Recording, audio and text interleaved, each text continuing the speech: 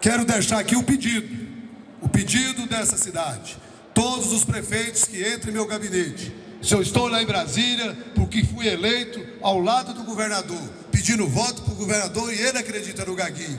Pedir voto, que o governador, eu tenho certeza, que a comunidade de Paraíso, como foi, através do ex-prefeito, ex-governador Moisés Avelino, que deu a maioria dos votos para o governo, para Mauro Carles, juntamente com o companheiro. Nós vamos dar a maioria de votos para Mauro Carles ao Senado, se Deus quiser, que o que ele está fazendo para Paraíso, nenhum governador fez.